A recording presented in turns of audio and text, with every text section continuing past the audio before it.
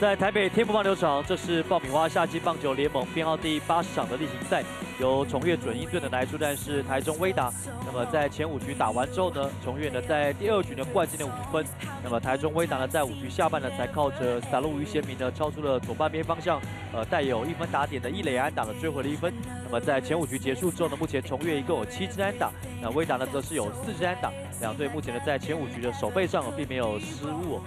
那么，呃，在五局结束之后呢，现在，呃，崇越呢现在是五比一取得了四分的领先。这场比赛转播呢是由名球评杨金龙杨教练以及我张立群还有全体工作团队为大家在台北天棒球场今天为大家一日两战为大家带来转播的服务。稍后晚间的六点钟呢，将继续为大家带来由奇力珊瑚来出战是国家厨训队的比赛。好了，那在前五局结束之后，我们要请杨教练来谈谈呃前面五局双方表现。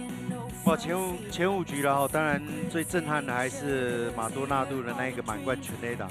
那这个也就是从越准英目前四分的领先的一个主要的的重点呢。当然江中诚还有李维斯今天这两位先发投手，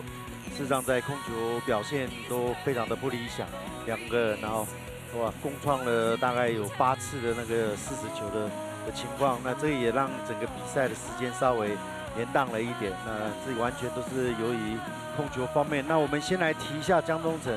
那在于控球方面呢，在目标都是希望能够投在非常边边角角的地方，无形中也让他的坏球率偏高了。那以他的非常好的快速球时速可以来到时速一百四十七公里，搭配他直插球以及滑球上的运用，可惜的是球速总是没有办法领先，所以这些很好的球种也没有办法在最关键的时候然后来直接拿出来对决。反而是保送太多。那江中诚除了控球方面，呃不理想之外，还有投球的节奏。以这一场比赛前五局这样观察起来，他应该还是可以再让节奏快一点，在头部之间那个暗号的的下达，以及在观看的过程啊，好像时间拖得太久。那在固定式的投球的情况之下。尤其我们看他的手背百倍的那个速度也不够，所以也造成放球点不稳定。那这个应该都是他透过比赛之后，然后那有时间回去看 video replay 或是看重播，看能不能从中去找到他修正的一些重点，那对他才有好的帮助。那李维斯今天比较大的问题是在内角，尤其是面对右打者的内角对决啊，好球率太低，都太偏。右打者的内侧，那这一点可能